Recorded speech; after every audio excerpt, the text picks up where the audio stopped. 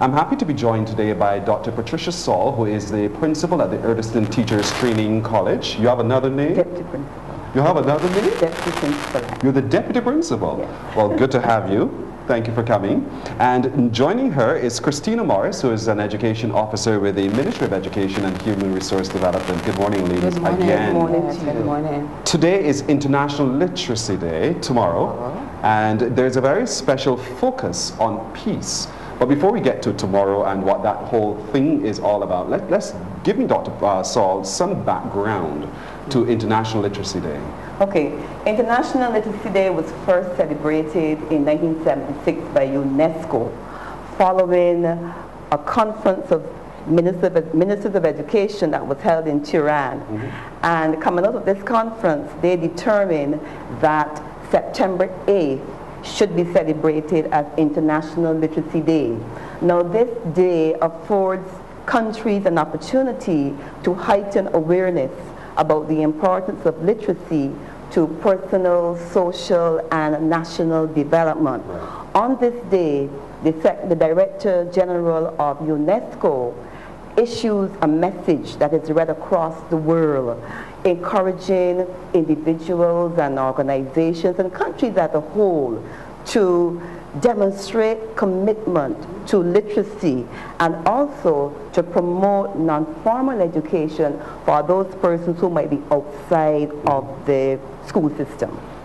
A lot of people watching today and a lot of people who think they know really don't quite understand what literacy is.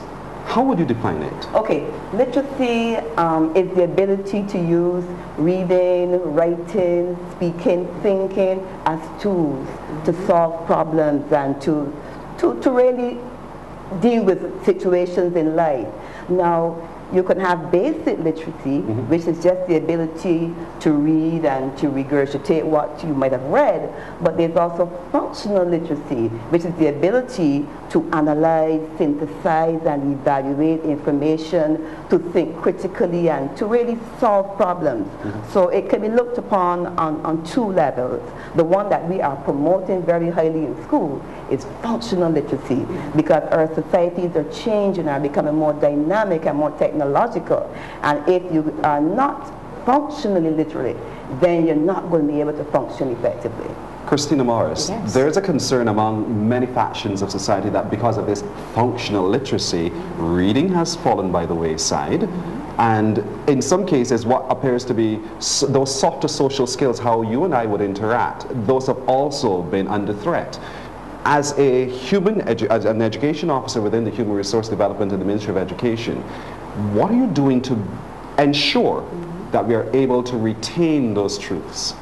Well, as a Ministry of Education, we continue to work very closely with our principals and our teachers because we must remember that they are key persons in the process of educating our citizens and we continue to work with our principals and our teachers to provide the requisite training and the retraining to ensure that they are exposed to current research, current strategies, all in an effort to ensure that our children are prepared for this technologically driven world that we live in.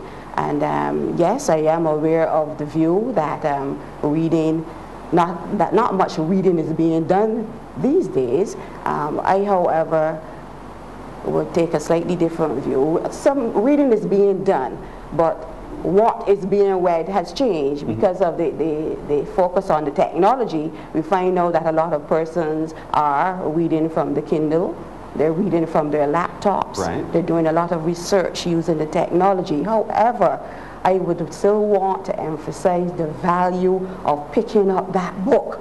And I, in my view, there isn't anything that can replace that experience with reading from a text. We're talking about critical thinking within all of this discussion. At the end of the day, too many times it seems to be a heavy reliance on technology. We Google it, to use that term, it's in the Bible, not the Bible, the dictionary now. Yeah. We Google it, and suddenly somebody gives us a result. Mm-hmm. The ability within all of this technology to think critically, mm-hmm. as a teacher trainer, what are you doing so that it does not overtake one's ability here between the ears?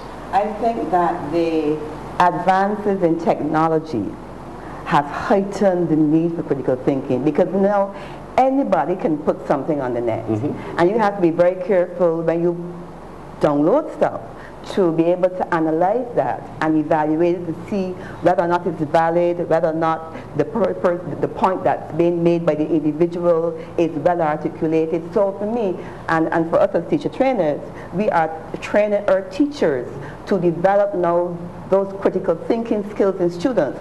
So there's need now for more student participation in lessons, more student presentations, more group work, so that children are now interacting with text in a more practical and a more meaningful way.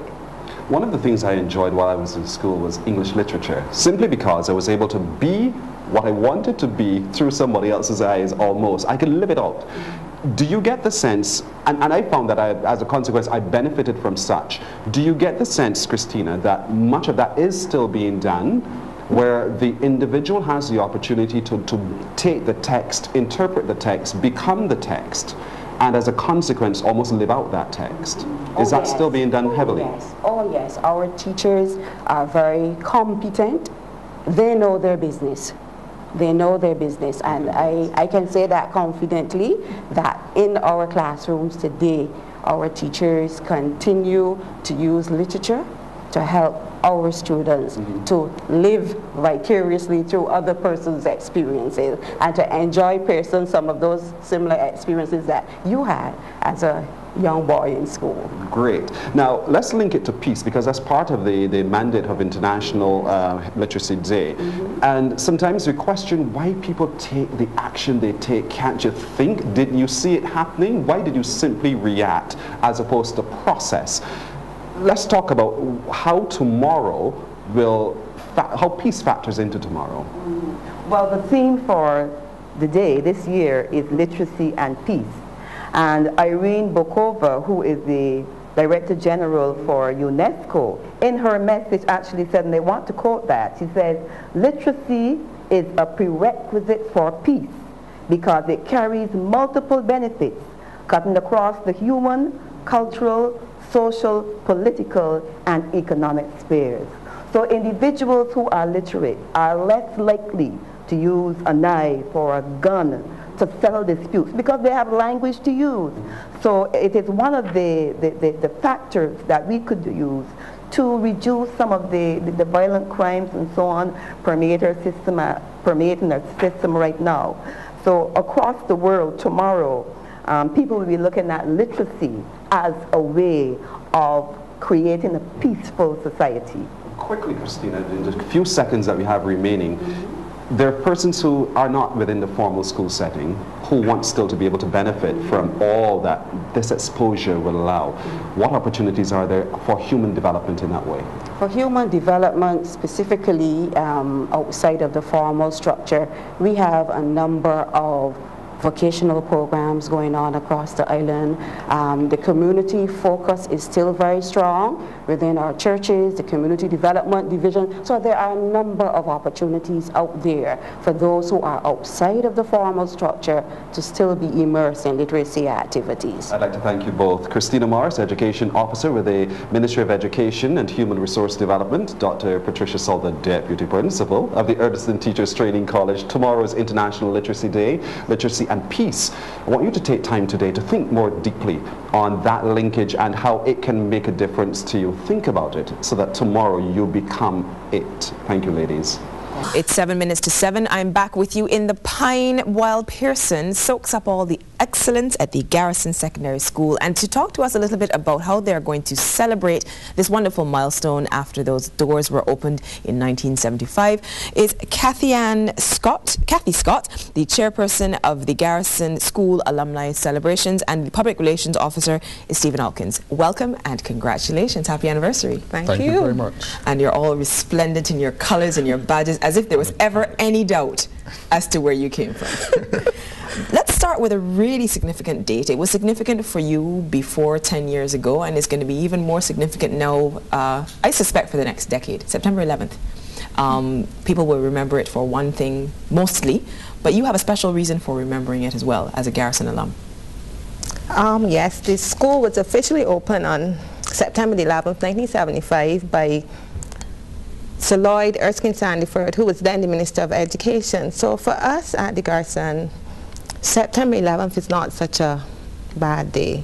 And you just need to reflect on the good things that have happened and not necessarily focus so much on the bad. So for us, it's a beautiful day and we're going to have our service at the St. Matthias Anglican Church at 8.45 on Sunday morning and that will kick our week of activities off. You say a week of activities, but you have several weeks and several activities. Yes. Stephen, tell me a little bit That's more. A the tell me a little bit more about things like football nights, the mentorship day, um, and the cricket competition and lime. We can't have cricket without a lime. Well, exactly.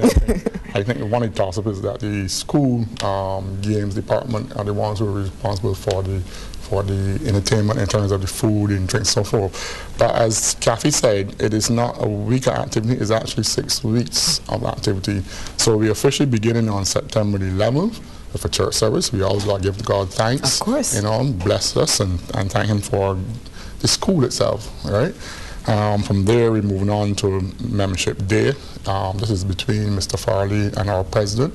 That's his baby, so this is where we, the alumni, work with the first formers and the second formers in terms of the transition.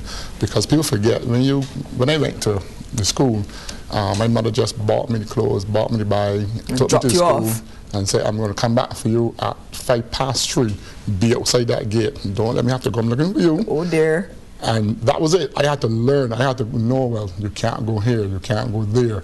Um, but what we did this time is that we want to work with the children where we would teach them and guide them. and Because as little children, you know, you primary school is one thing, but secondary school is like a whole different world. Oh boy, these children, you know, these big ones. Then the unfairness that some of these big children say, um, "Yeah, give me your lunch money." Mm -hmm. um, no, you can't. You know, so we want to take them through that process. You know, and that's where the mentorship program came in.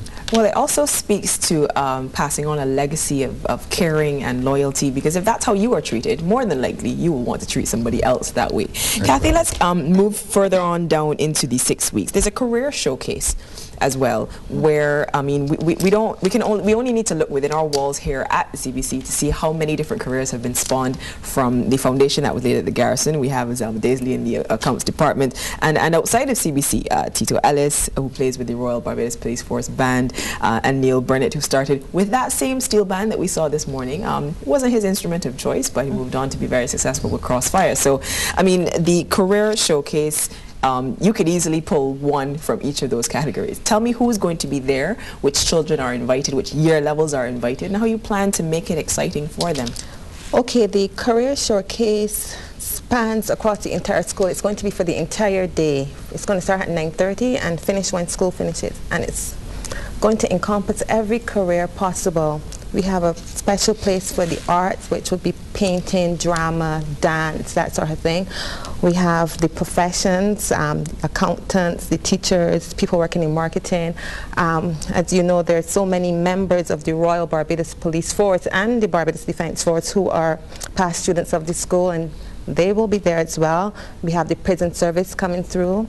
Um, good morning, Mr. Ryan Phillips. um, we have a slew of lawyers, some of them I, I, didn't even know about, and they'll be coming forward as well. Then the hairdressers, the cosmetologists, um, the doctors will be coming forward, and those people who are in, in entrepreneurship, and this is the direction the government wants the country to go. So we have our entrepreneurs coming forward, and it will span a wide spectrum of careers. It's not a typical career showcase. We'll have our stilt walkers and the Mother Sallies and so on. So it's going to be very interesting and exciting. It sounds that way to me. It sounds like you're spoiled for choice as to which one to choose.